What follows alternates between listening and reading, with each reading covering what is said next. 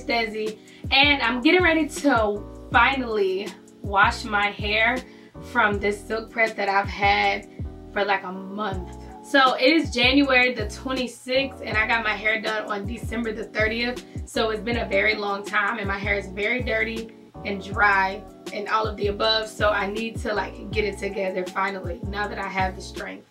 This, this is the bird nest. it has been a long couple of weeks.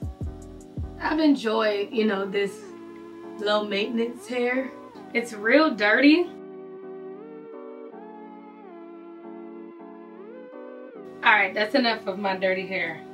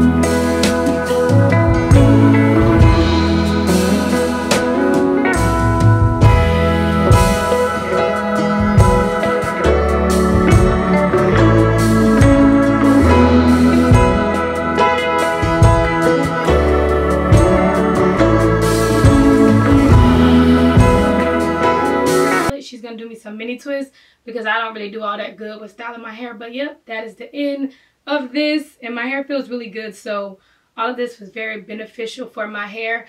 I definitely made the decision to do whatever I felt that my hair needed. And it worked out pretty well for me. It did.